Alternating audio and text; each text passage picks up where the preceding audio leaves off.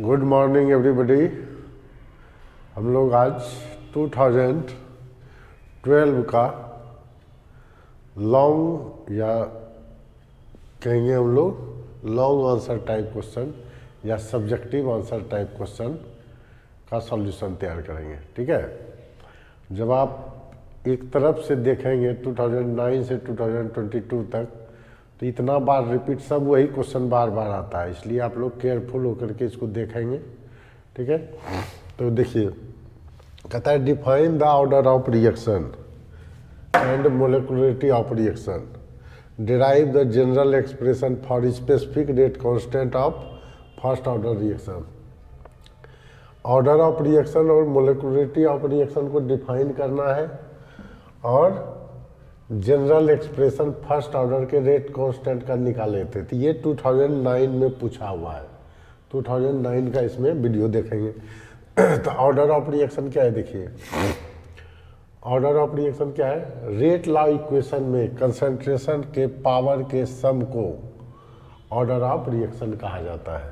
तो कोई एक इक्वेशन ले लेते हैं ए प्लस बी से प्रोडक्ट बना तो रेट इसका लिखते हैं के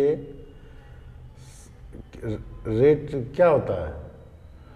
Rate of reaction directly proportional to concentration of reactant raise to the power its coefficient तो रेट क्या हो गया? के ए पर पावर एक्स बी पर पावर वाई तो ऑर्डर ऑफ़ रिएक्शन इसका सम यहाँ वन रहेगा टू रहेगा तो वन प्लस टू थ्री कर देंगे।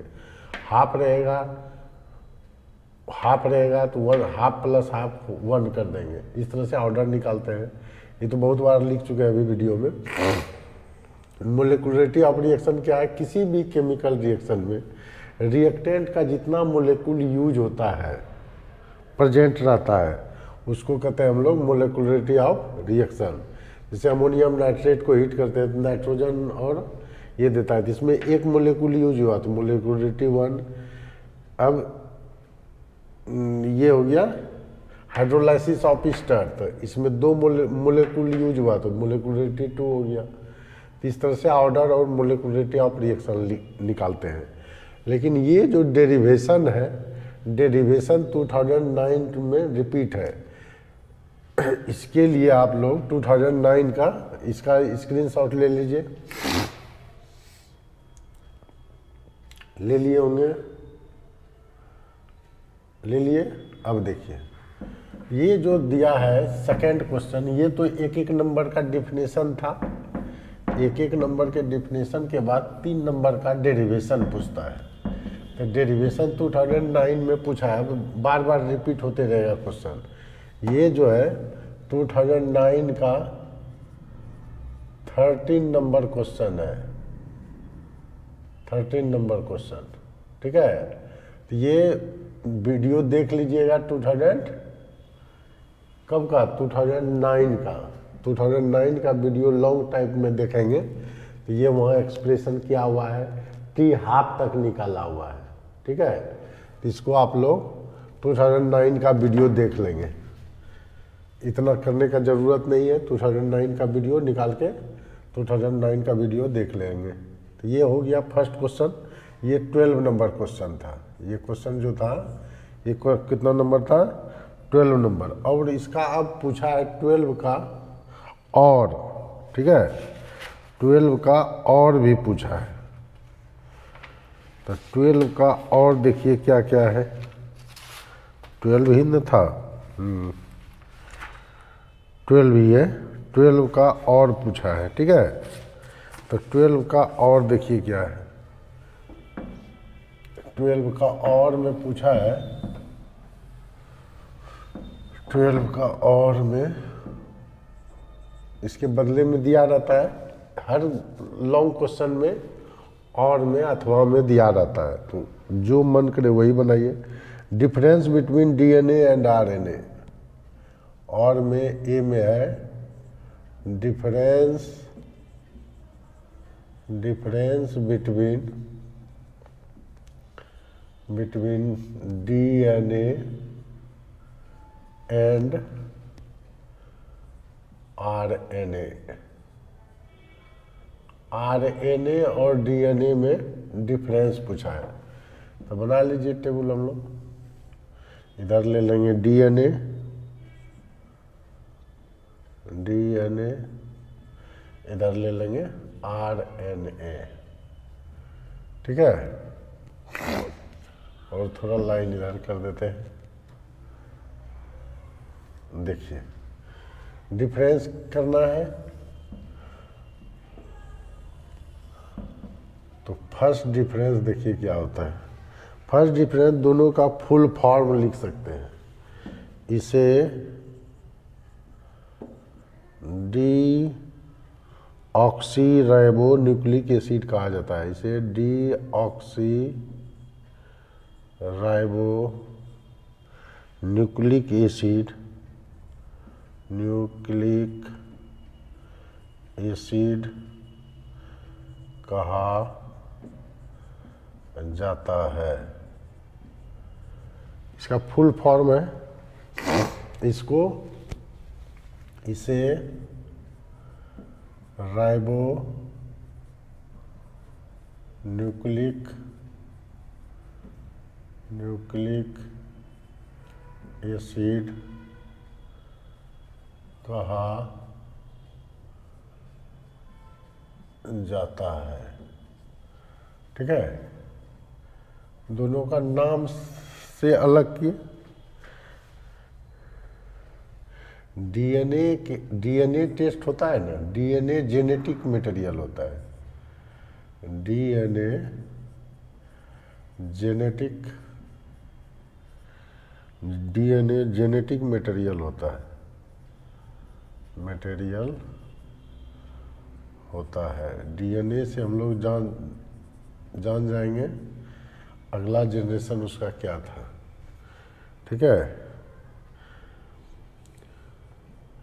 कुछ वायरस को छोड़ करके आरएनए जेनेटिक मटेरियल नहीं होता है। कुछ वायरस जो बना देता है ना वायरस वो जेनेटिकली बनाता है। कुछ वायरस को छोड़कर, कुछ वायरस को छोड़कर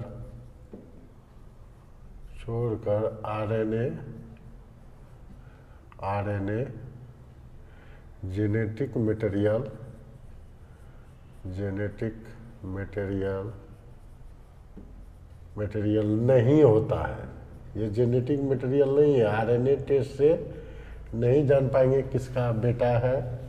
ये आरएनए से नहीं पता चलता है। थर्ड नंबर डीएनए में 10 लाख न्यूक्लियोटाइड्स होता है। डीएनए में जो होता है ना डीएनए में 10 लाख न्यूक्लियोटाइड्स होता है। न्यूक्लियोटाइड्स होता है। आरएनए में जो है आरएनए में बारह हज़ार तक होता है। आरएनए में में इकहत्तर से बारह हज़ार तक न्यूक्लियोटाइड होता है। न्यूक्लियोटाइड्स होता है। ठीक है? ये जो पूछा होगा, दो या तीन नंबर का है। तो चार वो लिख दीजिए ज़्यादा से ज़्यादा।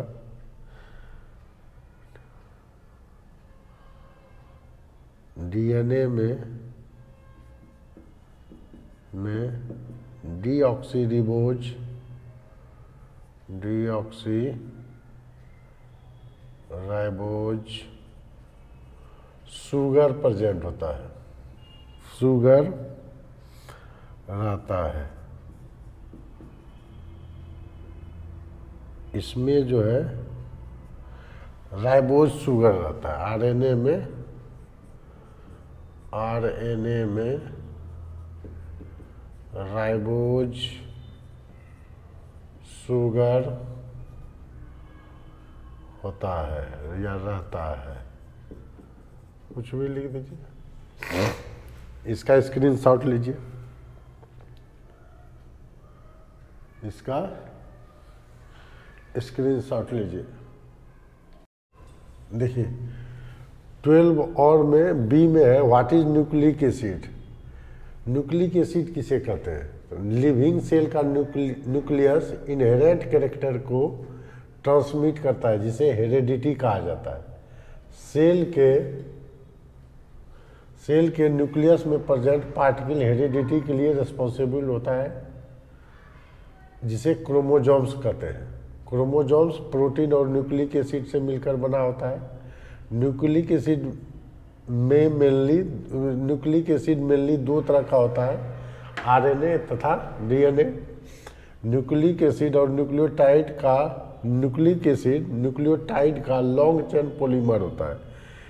इसे पोलीन्यूक्लियोटाइड भी कहा जाता है। यही इसका लिखना था, न्यूक्लिक एसिड पर नोट ठीक है? तो ये कर लीजिए। उसके बाद देखते हैं थर्टीन नंबर इसका स्क्रीनशॉट लीजिए। अब देखिए, इसको मिटाते हैं, ठीक है? अब देखिए थर्टीन नंबर क्वेश्चन में सल्फ्यूरिक एसिड का पूछा है। सल्फ्यूरिक एसिड ऑलरेडी हम लोग लिख चुके हैं तो उसको नहीं लिख रहे हैं, ठीक है? फोर्टीन नंबर से हम लोग करते हैं। और उसका कार्बोहाइड्रेट का अलग से बना देंगे वीडियो देखिए थर्ड फोर्टीन नंबर फिर यही सब सेम चीज़ ही पूछा है। Discuss Kolbe reaction fourteen number में पूछा है।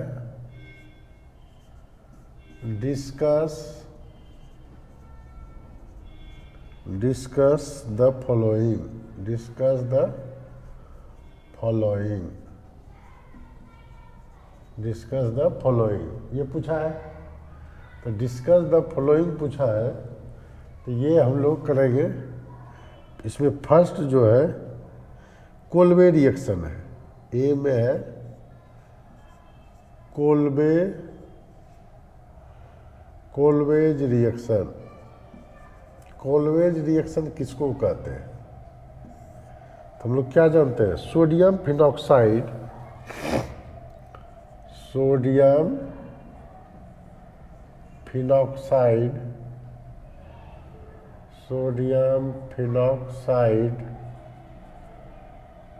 four to seven atmospheric pressure पर four to seven ATM pressure पर एटीएम प्रेशर पर एटीएम प्रेशर तथा लिख दीजिए।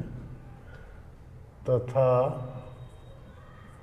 400 केल्विन टेम्परेचर पर टेम्परेचर पर CO2 से रिएक्शन CO2 से रिएक्शन करके CO2 से रिएक्शन करके सोडियम सोडियम सैलेट देता है, सोडियम सैलेट देता है। सैली, सैलेट, सोडियम सैलेट सैलिसैलेट देता है। ठीक है? सोडियम सैलिसलेट देता है। उसे एसिडिक हाइड्रोल उसे एसिडिक, उसे नहीं लिखी, सोडियम सैलेट का, सोडियम सेलिसैलेट का, लेट का एसिडिक हाइड्रोलाइसिस करने पर एसिडिक हाइड्रोलाइसिस हाइड्रोलाइसिस करने पर करने पर सेलिसिलिक एसिड प्राप्त होता है। Salicylic acid salicylic acid acid salicylic acid प्राप्त होता है। देखिए, इसका मेन रिएक्शन है। क्या है? Sodium phenoxide sodium phenoxide acid आता नहीं है। फिनॉल का रिएक्शन कराना होगा। ये फिनॉल हुआ। फिनॉल का रिएक्शन करा देते हैं हम लोग किससे सोडियम हाइड्रोक्साइड से। ये एसिडिक नेचर का होता है फिनॉल तो ये रिएक्शन बेस से करेगा, बना देगा सोडियम फिनॉक्साइड ये ओ एन ए आ गया। इसको बोलते हैं सोडियम फिनॉक्साइड सोडियम फिनॉक्साइड बना। अब ये करेगा CO2 से के साथ रिएक्शन कंडीशन है four to seven ATM pressure ठीक है? Four to seven ATM pressure और फोर हंड्रेड केल्विन टेम्परेचर तब ये बन जाता है सोडियम ये बन जाएगा सोडियम ये बन गया, ठीक है? सोडियम सैलिसलेट सोडियम सैलिसलेट बन गया। ठीक है? अब ये जब हाइड्रोलाइसिस कर देते हैं इसका एसिडिक हाइड्रोलाइसिस एसिड के प्रजेंस में हाइड्रोलाइसिस को ही एसिडिक हाइड्रोलाइसिस कहते हैं। इसका जब H2O H प्लस के प्रजेंस में रिएक्शन कराते हैं, तब ये बन जाता है सेलिसिलिक एसिड क्या बन जाता है? Salicylic acid. या इसी को पढ़ सकते हैं, टू हाइड्रोक्सी बेंजोइक एसिड। ठीक है, यही है। Kolbe reaction. बी में पूछा है, ऊर्ज रिएक्शन। ई भी पहले डिस्कस किए हुए हैं। नहीं, इसका जल्दी स्क्रीन शॉट लीजिए। तो इसमें क्या है सोडियम फिनॉक्साइड कार्बन डाइऑक्साइड से इतना कंडीशन लेकिन लिखना पड़ेगा इसमें। Four to seven atmospheric pressure और 400 हंड्रेड केल्विन टेम्परेचर पर रिएक्शन करके सोडियम सैलिसलेट देता है। और उसका एसिडिक हाइड्रोलाइसिस करते हैं तब वो। ये एसिडिक हाइड्रो एच प्लस है। एसिडिक हाइड्रोलाइसिस करते हैं तो सेलिसलिक एसिड प्राप्त होता है। ये एक कोलवे रिएक्शन मिटा दें। ले लीजिए स्क्रीनशॉट ठीक है। अब देखिए, दूसरा पूछा है उज रिएक्शन और कार्बाइलेमिन रिएक्शन ये सब पहले भी लिखे हुए हैं बहुत बार। एक ही चीज़ बार बार लिखना पड़ता है इस टाइप में, जो क्वेश्चन का जवाब देने में जो है ना, एक ही चीज़ बार बार लिखना पड़ता है। लिखिए, Wurtz reaction Wurtz reaction Wurtz reaction किसको कहते हैं? Alkyl halide alkyl alkyl halide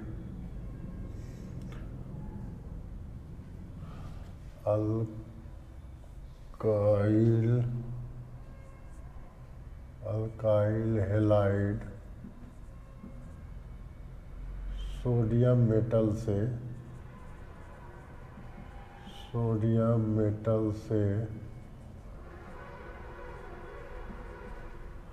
dry ether medium में, ड्राई ईथर मीडियम में रिएक्शन करके रिएक्शन करके हाइयर एल्केन देता है। हाइयर एल्केन देता है। यही है, ऊर्ज रिएक्शन जैसे आर एक्स लेते हैं।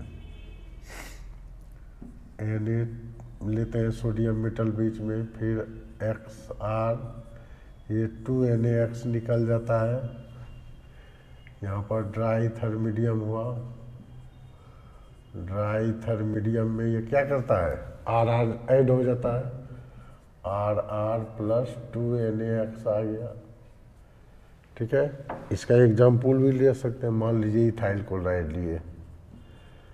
इथाइल क्लोराइड लिए दो सोडियम मेटल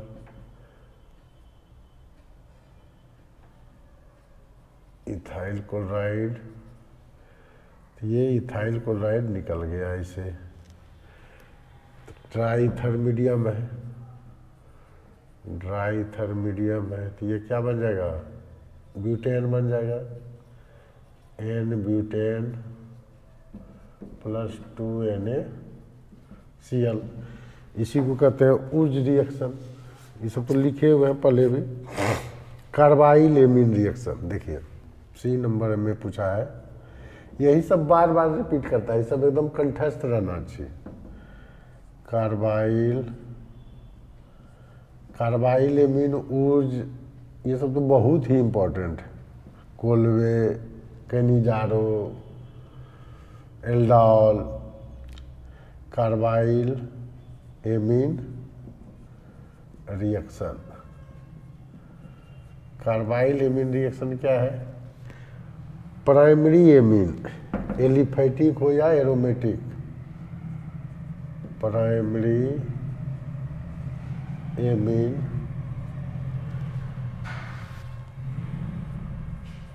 एलिफैटिक या एरोमेटिक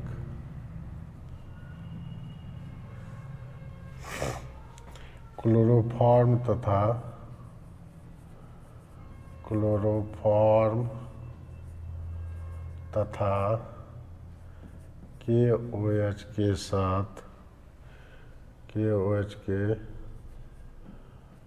के साथ हीट करने पर हीट करने पर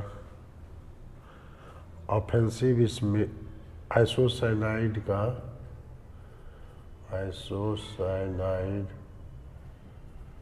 का ऑफेंसिव स्मेल देता है ऑफेंसिव स्मेल देता है। इसे कार्बाइल एमिन रिएक्शन कहा जाता है। इसे कार्बाइल एमिन रिएक्शन कहा जाता है। कहा जाता है। ठीक है? तो देखिए, कोई भी लीजिए प्राइमरी एमीन होना चाहिए सिर्फ़। ये वा aliphatic chloroform chloroform K O H के साथ हीट कर दीजिए, ठीक है? हीट कर दीजिएगा तो ये क्या बन जाएगा ethyl isocyanide ethyl isocyanide plus three K C L plus three H two O ठीक है? इसको पढ़ेंगे इथाइल आइसोसाइनाइड ये भी प्राइमरी एमिन है इथाइल एमिन क्या है? प्राइमरी एमिन है। इथाइल एमिन ये क्या है? वन डिग्री एमिन है। वन डिग्री एमिन है। अब एरोमेटिक एमिन ले लीजिए। एनिलीन। ये है एनिलीन। एनिलीन। ये भी करेगा क्लोरोफॉर्म। और के के साथ हीट का साइन दे दीजिए। तो हीट कर देंगे इसको तो बन जाएगा फिनाइल आइसोसाइनाइड। क्या बन जाएगा? फिनाइल आइसोसाइनाइड बन जाएगा। Plus three K C L सब रिएक्शन एक ही होता है। इसको पढ़ेंगे phenyl isocyanide. Phenyl iso cyanide ठीक है? यही है। फोर्टीन नंबर क्वेश्चन यही था। अब देखिए fifteen number question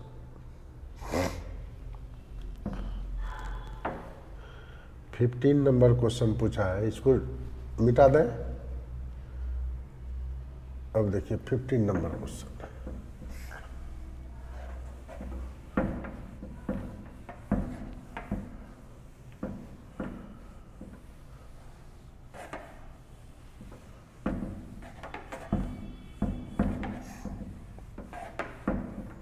देखिए fifteen number question fifteen number question कहता है how is aluminium extracted from bauxite ore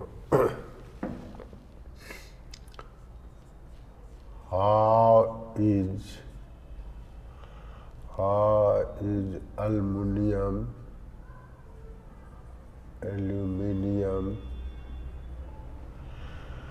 extracted from, extracted from bauxite ore bauxite ore ठीक है?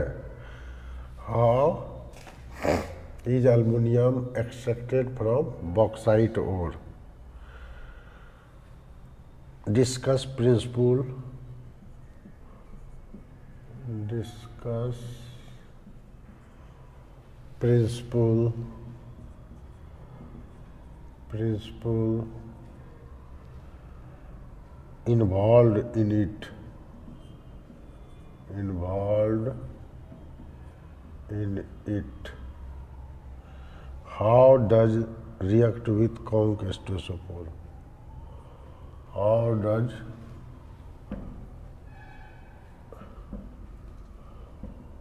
how does react with how does react with conc H2SO4 conc H2SO4 ठीक है? यही question है। तो H2SO4 का एक्सट्रैक्स क्या कहते हैं? अल्मीनियम का एक्सट्रैक्शन पढ़ना है।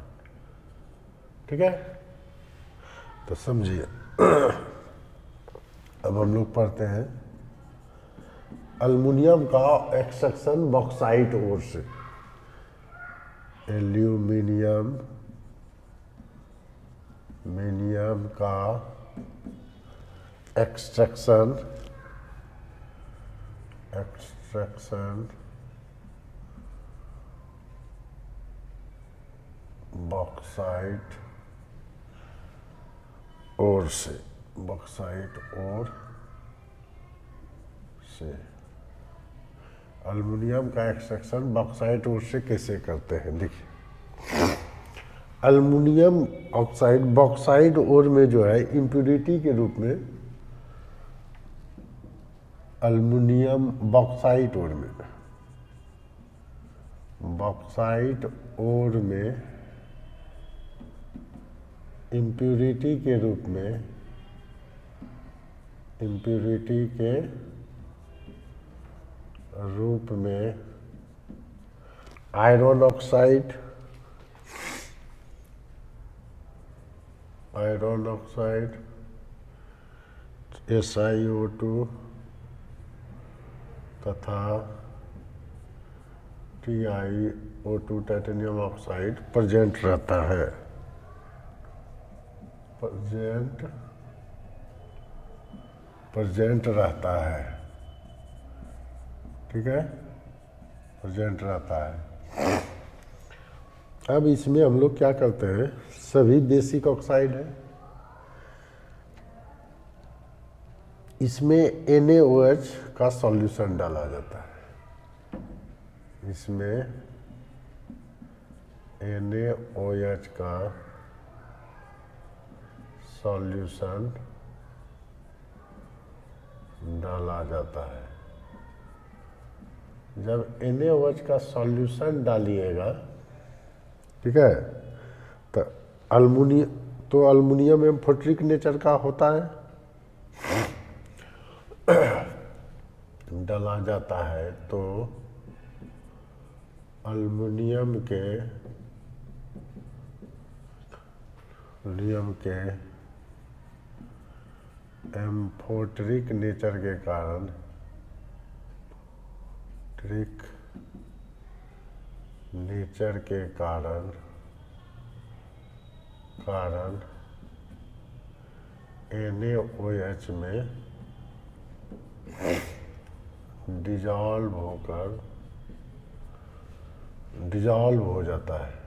एम्फोट्रिक नेचर होने के कारण एच में अल्मोनियम का एम्फोट्रिक नेचर एल्युमिनियम के एम्फोट्रिक नेचर के कारण के कारण एच में डिजॉल्व हो जाता है। अल्युमिनियम के अल्युमिनियम के एम्फोट्रिक नेचर के कारण एच में एच में बॉक्साइट और एच में बॉक्साइट और डिजॉल्व होकर डिजॉल्व होकर सोडियम एल्यूमिनेट बनाता है। सोडियम एल्यूमिनेट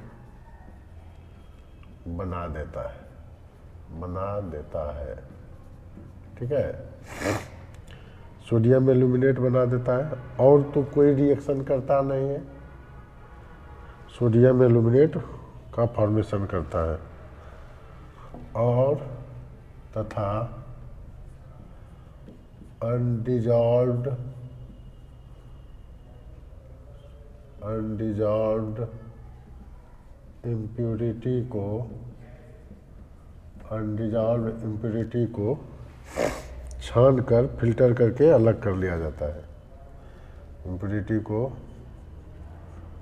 फ़िल्टर करके अलग कर लिया जाता है। अलग कर लिया जाता है। ठीक है? क्या करते हैं? बॉक्साइट ओर में इम्प्योरिटी के रूप में F E two O three S I O two T I O two present रहता है। इसमें एन एच का सॉल्यूशन डाला जाता है तो अल्मीनियम का एम्पोट्रिक नेचर के कारण एन एच में बॉक्साइट और डिजॉल्व होकर सोडियम एल्यूमिनेट बना देता है तथा अनडिजॉल्व इम्प्योरिटी को फ़िल्टर करके अलग कर लेते हैं। तो कैसे होगा? देखिए इक्वेशन लिखना पड़ेगा केमिस्ट्री में अल्मोनियम ऑक्साइड यही बॉक्साइड हो। रहा है टू एस टू ओ ये एन एच के साथ रिएक्शन करेगा। क्या बना देगा? Two N L O two plus three H two O बना दिया। अब सोडियम एल्यूमिनेट का हाइड्रोलाइसिस करने पर सोडियम एल्यूमिनेट को छान लिए, सॉल्यूशन मिल गया। सोडियम एल्यूमिनेट, मिनेट का हाइड्रोलाइसिस करने पर का हाइड्रो लाइसिस करने पर हाइड्रोलाइसिस करने पर क्या मिलता है? अल्मोनियम हाइड्रोक्साइड का अल्मोनियम हाइड्रोक्साइड का प्रिसिपिटेट प्राप्त होता है। अल्मोनियम हाइड्रोक्साइड का पीपीटी प्राप्त होता है। देखते हैं। इक्वेशन बना के N A L O two plus water ये बन जाता है अल्मोनियम हाइड्रोक्साइड ठीक है? Plus sodium hydroxide sodium hydroxide तो कितना हो गया? तीन एक चार हाइड्रोल हाइड्रोलाइसिस न हो गया?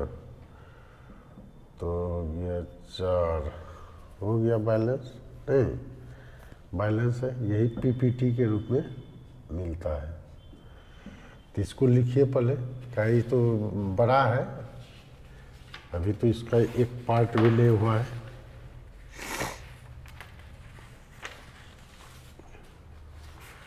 हो गया? अब देखिए, उसके बाद क्या करते हैं अल्मोनियम हाइड्रोक्साइड को हीट करते हैं। मिटा दें। यहाँ तक पहले लिखिए। उसके बाद क्या करते हैं? फिफ्टीन नंबर है।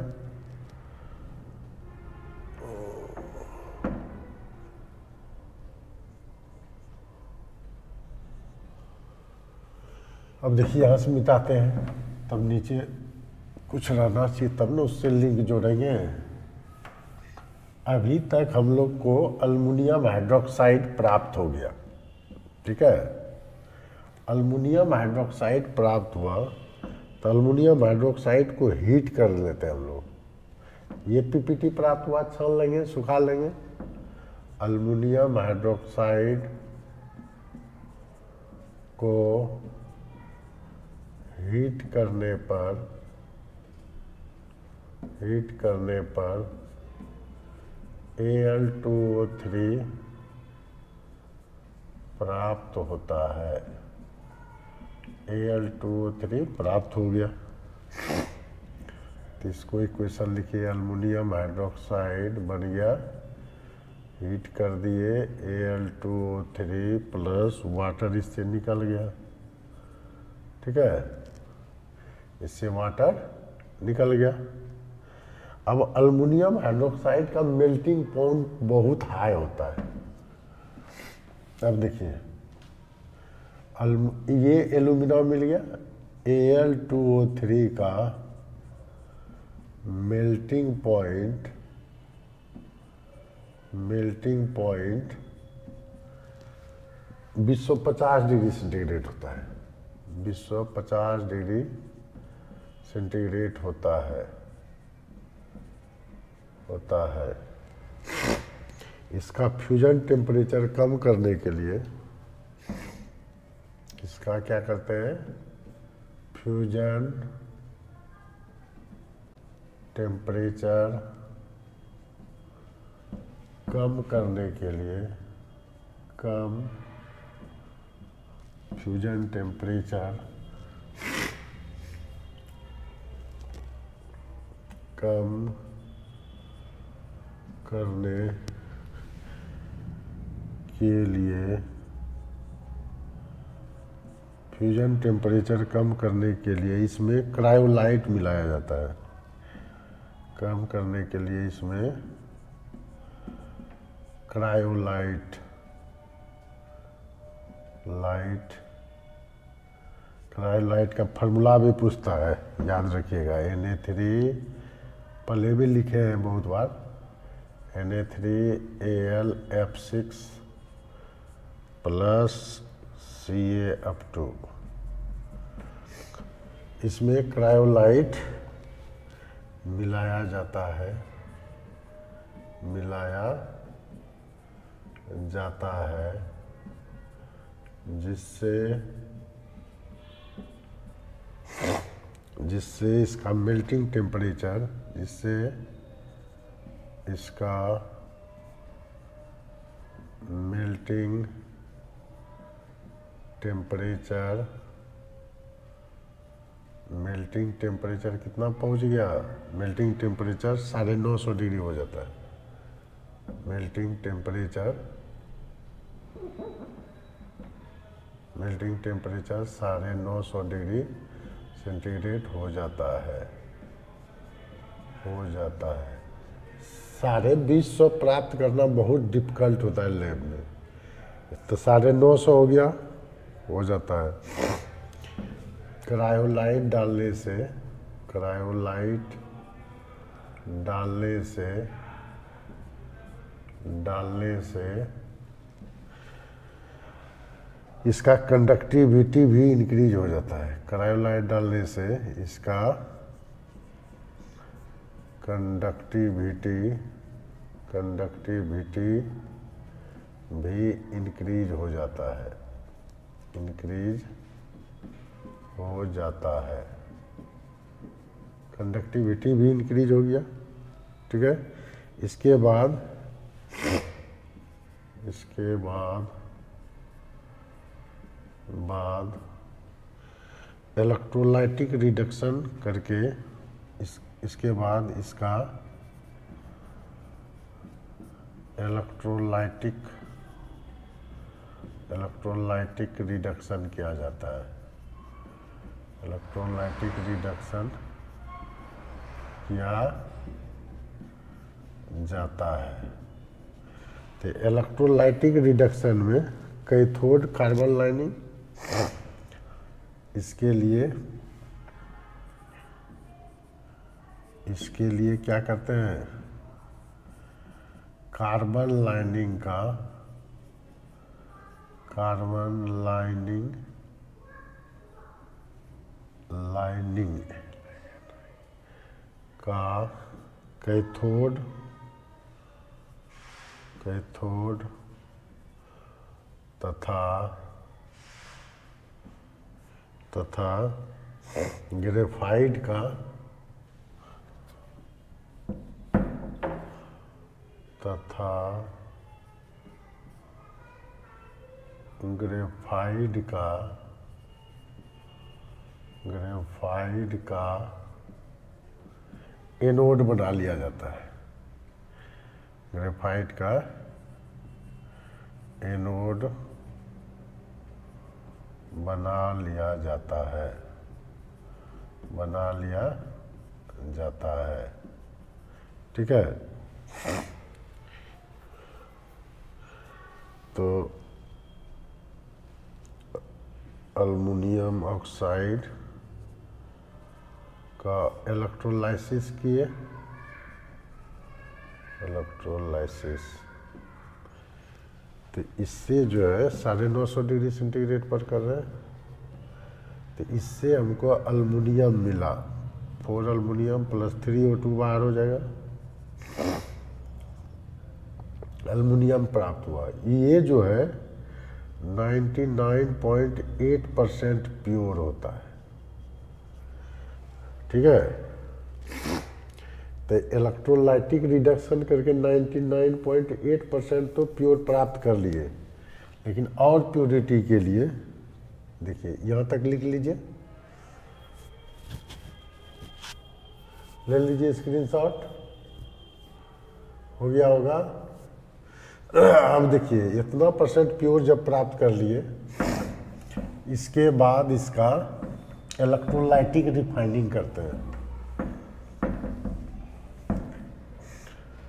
इसके बाद इसके बाद ये इम्प्यूरिटी इसमें प्रेजेंट है, इसके बाद इम्प्योर इसे लिखते हैं तो। इसके बाद इलेक्ट्रोलाइटिक रिफाइंड इसके बाद इलेक्ट्रोलाइटिक रिफाइनिंग किया जाता है। उसके बाद इलेक्ट्रोलाइटिक रिफाइनिंग किया जाता है ठीक है तो इलेक्ट्रोलाइटिक रिफाइनिंग में क्या करते हैं? एक बात बनाते हैं। इसमें इम्प्योर मेटल ले लिए। इधर प्योर मेटल ले लिए। ठीक है? तो ये इम्प्योर है। इम्प्योर का एनोड बनाते हैं। इधर इसे कनेक्शन कर दिए फिर, ठीक है? ये है इम्प्योर मेटल इम्प्योर अल्मुनियम ये है प्योर अल्मुनियम तो यहाँ पर गंदला चीज़ बैठ जाएगा। इसका सॉल्यूशन ले लेते हैं। तो देखिए, कैसे करते हैं अब इसका?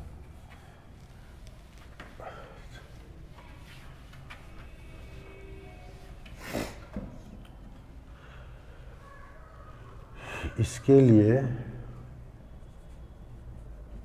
इसके लिए इम्प्योर अल्मुनियम का एनोड इम्प्योर एल्युमिनियम का एनोड तथा प्योर अल्मुनियम का प्योर एल्युमिनियम का कैथोड का कैथोड बनाकर कैथोड बनाकर 99.98 percent pure aluminium pure aluminium मिनियम प्राप्त किया जाता है। प्राप्त किया जाता है। ठीक है? इसमें क्या किए हम लोग? इसमें कोई भी ये एनोड है। एनोड है, ये क्या है? कैथोड है। देखिए, इसमें हम लोग क्या किए? बॉक्साइट ओर लिए। बॉक्साइट ओर में प्रजेंट रहता है iron oxide titanium oxide silica इसमें एन डालते हैं तो अल्मीनियम ऑक्साइड क्या होता है? बॉक्साइट ओर जो है डिजॉल्व हो जाता है तो उसको छान करके इम्प्योरिटी को अलग कर लिए। फिर वो उसका हाइड्रोलाइसिस करते हैं तो अल्मोनियम हाइड्रोक्साइड का प्रिसिपिटेट प्राप्त होता था। उसको हीट करके लोग अल्मोनियम ऑक्साइड प्राप्त कर लिए। अल्मोनियम ऑक्साइड का फिर इलेक्ट्रोलाइटिक रिडक्शन करके हम लोग 99.8 परसेंट प्राप्त कर लिए, उसमें प्योरिटी आया। फिर इलेक्ट्रोलाइटिक रिफाइनिंग करके 99.98 परसेंट प्योर अल्मोनियम प्राप्त कर लेते हैं। ठीक है?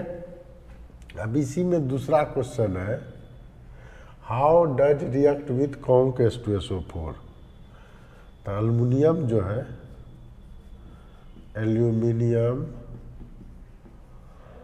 सल्फ्यूरिक एसिड से रिएक्शन करके सल्फ्यूरिक एसिड से रिएक्शन करके हाइड्रोजन गैस देता है। हाइड्रोजन गैस देता है, चूँकि हाइड्रोजन का इलेक्ट्रॉन पोटेंशियल निगेटिव में होता है तो aluminium S two S O four से रिएक्शन करेगा तो ये बनाता है aluminium sulphate. Aluminium sulphate plus तो three sulphate three H two निकल जाएगा। ये हो गया इसका रिएक्शन तो एक्सट्रैक्शन ऑफ़ अल्मोनियम अब कहीं पर भी पूछा बड़ा हो जाता है ना? ये बार बार हम लोग अब फिफ्टीन का एग्ज़ाम्पल दे देंगे ट्वेल्व में पूछा हुआ है। ठीक है? अब इसका देखिए, और पूछा है। और में पूछा है इसका। अब इसको मिटा दें।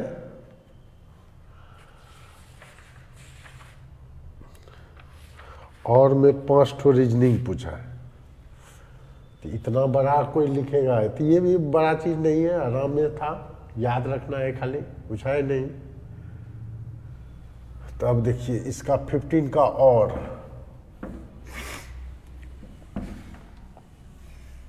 फिफ्टीन नंबर क्वेश्चन का और में पूछा है, पाँच ठो रीजनिंग और में क्या पूछा है, देखिए। फिफ्टीन का और और में पूछा है account for the following account for the following ठीक है? पहला कहता है P C L five known but N C L five not known कहता है P C L five is known known but N C L five not known not known ठीक है? Y ठीक है? तो हम लोग देखिए फास्फोरस का क्या होता है? आंसर लिखते हैं। फास्फोरस जो है 15 होता है एटॉमिक नंबर इसका जब इलेक्ट्रॉनिक ये सब बॉन्डिंग में हम बढ़िया से डिस्कस किए थे। One S two two S two two P six three S two three P three हुआ। ठीक है? ग्राउंड स्टेट में इसका जो लिखते हैं ग्राउंड स्टेट में ये क्या है? थ्री एस में दो इलेक्ट्रॉन थ्री पी में एक एक इलेक्ट्रॉन प्रेजेंट है। तो तीन अनपेयर्ड इलेक्ट्रॉन है। तो ये पी सी एल थ्री भी बनाएगा। एक्साइटेड स्टेट में क्या होता है? एक्साइटेड स्टेट में ये थ्री एस का एक इलेक्ट्रॉन जंप करके इसमें चला जाता है? थ्री डी में चला जाता है। इसका डी तो वैकेंट है थर्ड सेल में डी वैकेंट पड़ा हुआ है। एक्साइटेड कंडीशन में इसमें एक इलेक्ट्रॉन चला गया। तो फाइव अनपेयर्ड इलेक्ट्रॉन हो गया। तो ये पी सी एल फाइव भी बनाएगा ठीक है? तो इसको लिखेंगे फास्फोरस फास्फोरस ग्राउंड स्टेट में फास्फोरस के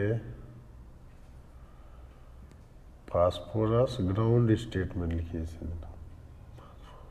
फास्फोरस ग्राउंड स्टेट में फास्फोरस के ग्राउंड फास्फोरस के ग्राउंड स्टेट में तीन अनपेयर्ड इलेक्ट्रॉन तीन अनपेयर्ड इलेक्ट्रॉन प्रजेंट रहता है प्रजेंट रहता है,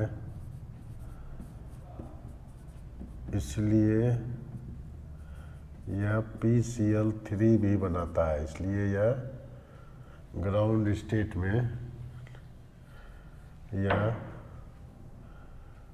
इसलिए फास्फोरस लिख दीजिए। फास्फोरस ग्राउंड स्टेट में ग्राउंड स्टेट में पी सी एल थ्री का फॉर्मेशन करता है। पी सी एल थ्री का फॉर्मेशन करता है। करता है। ठीक है? अब देखिए, जबकि जबकि एक्साइटेड स्टेट में एक्साइटेड स्टेट में एक्साइटेड स्टेट में फाइव पाँच unpaired five unpaired electron unpaired electron present रहता है प्रेजेंट रहता है है इसलिए यह पी सी एल फाइव का पी सी एल फाइव का भी फॉर्मेशन करता है। फॉर्मेशन करता है। ठीक है? जबकि जबकि नाइट्रोजन के केस में, नाइट्रोजन के केस में केस में क्या होता है? नाइट्रोजन का सेवन होता है। One S two two S two two P three nitrogen के केस में यही तीन अनपेयर्ड इलेक्ट्रॉन रहा। एक्साइटेड स्टेट में होगा नहीं इसमें। ये पेयर्ड ही है। जबकि नाइट्रोजन के केस में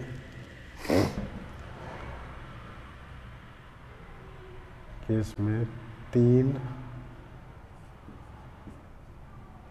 ग्राउंड तीन unpaired electron unpaired electron present होता है। प्रजेंट होता है। इसमें टू डी पॉसिबल नहीं है। इसमें टू डी पॉसिबल नहीं होता है। नहीं होता है। इसलिए नाइट्रोजन सिर्फ़, इसलिए नाइट्रोजन सिर्फ़ N C L three N C L three का फॉर्मेशन करता है एन सी एल थ्री का फॉर्मेशन करता है। एन सी एल फाइव का फॉर्मेशन नहीं कर पाता है। एन सी एल फाइव का फॉर्मेशन नहीं कर पाता है। नहीं कर पाता है। ठीक है? देखिए, इसमें क्या है? Unpaired electron valence bond three क्या कहता है? अनपेयर्ड इलेक्ट्रॉन बॉन्ड फॉर्मेशन में भाग लेता है। तो इसमें एक्साइटेड स्टेट में पाँच अनपेयर्ड है। Three S three P three D possible है। तो ये एक्साइटेड स्टेट में पी सी एल फाइव बनाता है। लेकिन इसमें तो टू डी पॉसिबल ही नहीं है। इसलिए ये एन सी एल थ्री का सिर्फ़ फॉर्मेशन करता है। एन सी एल फाइव का फॉर्मेशन नहीं कर पाता है। ठीक है? यहाँ पर क्लोरीन में भी एक अनपेयर्ड इलेक्ट्रॉन होता है। सी एल का भी लीजिएगा सेवनटीन तो one S two two S two two P six three S two three P five तो इसका थ्री पी में देखते हैं। इसमें एक अनपेयर्ड है। एक अनपेयर्ड यही इसके पाँचों के साथ रिएक्शन करता है। ठीक है? तो ये नहीं बना पाता है। इसका स्क्रीनशॉट लीजिए। ये बहुत इंपॉर्टेंट है, बहुत बार पूछा है। लीजिए जल्दी इसका screenshot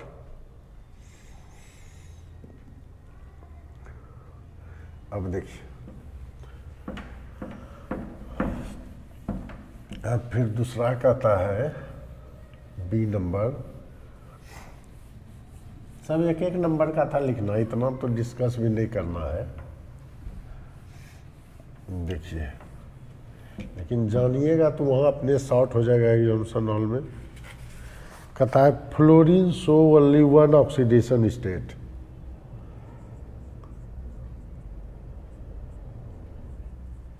fluorine show only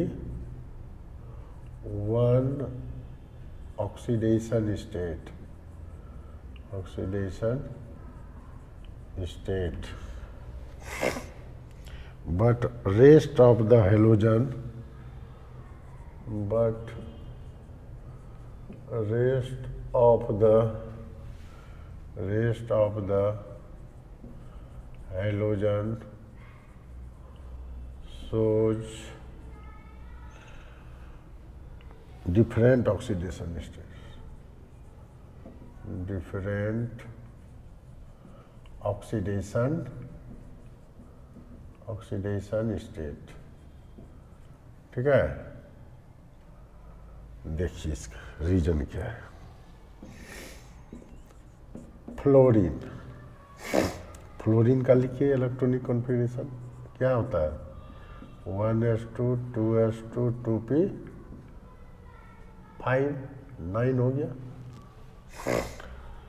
to P five है तो टू डी तो अब वैकेंट ही नहीं है इसमें। इसमें जो है,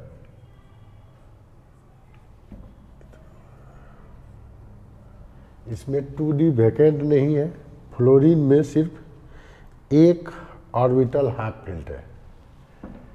इसमें क्या है? इसमें सिर्फ़ एक ऑर्बिटल एक ऑर्बिटल, हाफ़ फ़ील्ड है। इसमें सिर्फ़ क्या है? हाफ़ फ़ील्ड है। इसमें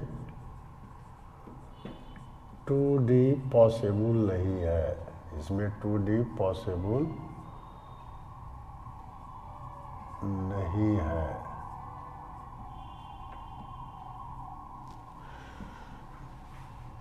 और अदर हेलोजन में, जबकि जबकि अदर हेलोजन में, अदर हेलोजन में, जबकि अदर हेलोजन में क्या है? जबकि अदर हेलोजन में डी ऑर्बिटल पॉसिबल है, जबकि अदर हेलोजन में डी ऑर्बिटल पॉसिबल है। एग्ज़ाम्पल लेते हैं क्लोरीन जैसे। क्लोरीन में क्या है? One S two two S two two P six, three S two, three P five. अब ये थ्री डी तो वैकेंट है। इसका दो इलेक्ट्रॉन ऐसे है। इसका ऐसे है।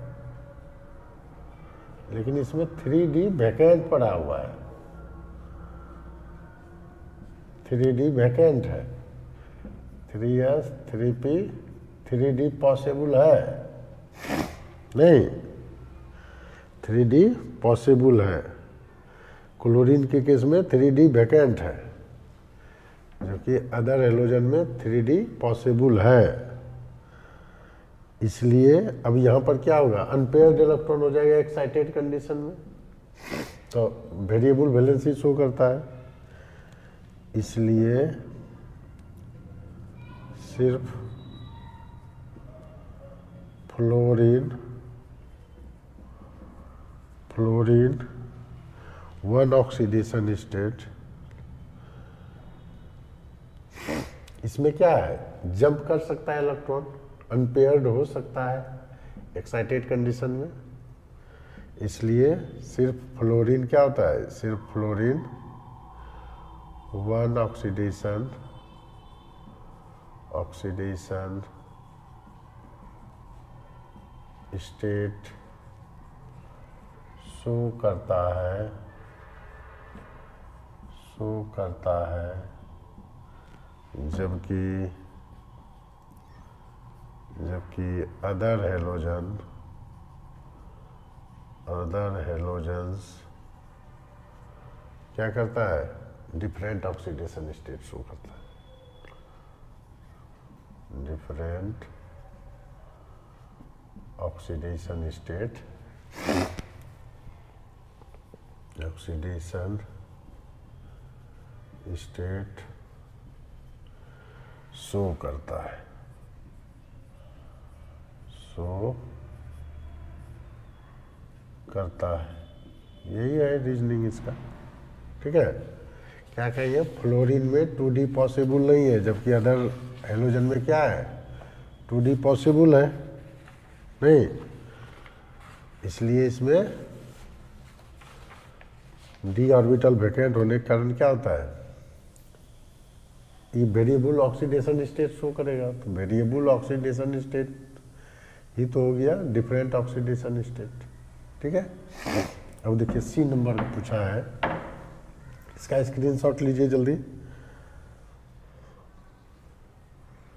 हो गया? देखिए सी नंबर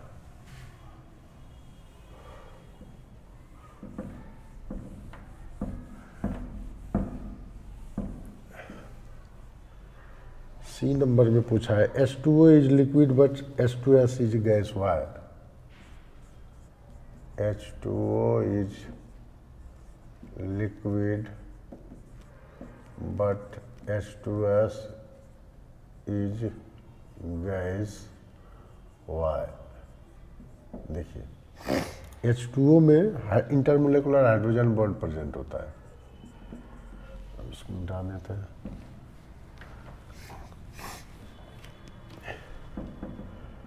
एच टू में intermolecular intermolecular hydrogen bond hydrogen bond bond present होता है। प्रजेंट होता है, रहता है प्रजेंट होता है, जबकि जबकि एच टू एस में hydrogen bond hydrogen bond present नहीं होता है। नहीं होता है। नहीं होता है। इसलिए एच टू ओ लिक्विड है। इसलिए H2O लिक्विड है है, और H2S H2S गैस है। ठीक है? डी नंबर में देखिए क्या पूछा है। Noble gases are monoatomic in nature. Noble gases are monoatomic in nature. Why? Monoatomic in nature why देखिए क्या लिखिएगा इसका नोबुल गैस जो होता है helium neon argon high stability होता है। Noble gas noble gas, helium, neon, argon, krypton का हाई स्टेबिलिटी होने के कारण नोबुल गैस का हाई स्टेबिलिटी होने के कारण लिटी होने के कारण नोबुल गैस का हाई स्टेबिलिटी होने के कारण दूसरे के साथ, दूसरे के साथ बॉन्ड का फॉर्मेशन बॉन्ड का फॉर्मेशन नहीं करता है। नहीं करता है। नहीं करता है। और और हमेशा मोनोएटोमिक मोनोएटोमिक फ्री स्टेट में फ्री स्टेट में में रहता है। Noble gas, helium, neon, argon, krypton का हाई स्टेबिलिटी होने के कारण दूसरे के साथ बॉन्ड का फॉर्मेशन नहीं हो पाता है, लिखिए।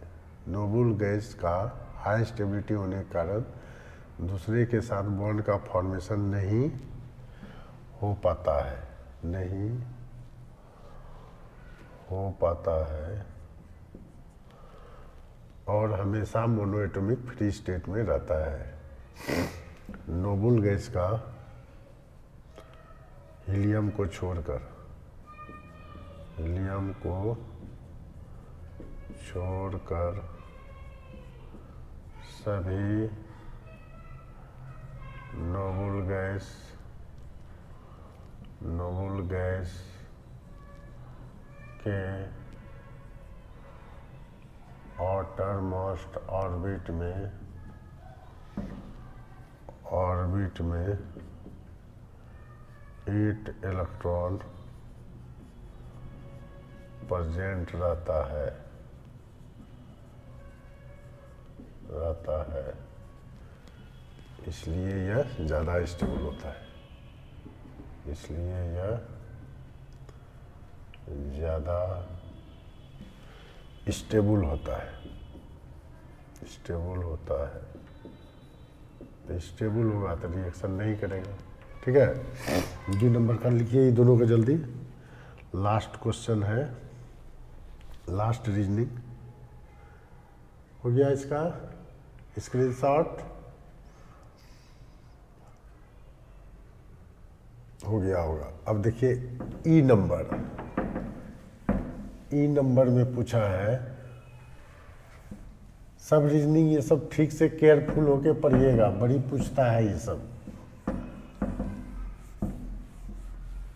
हर बार पूछेगा इधर से उधर, कभी इसमें, कभी शॉर्ट में, कभी लॉन्ग में, कहीं भी ये सब रीजनिंग दे देगा।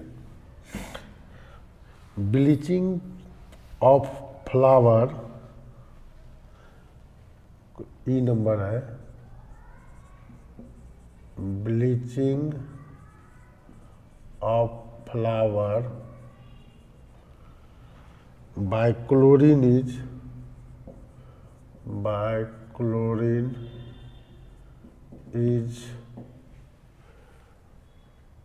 permanent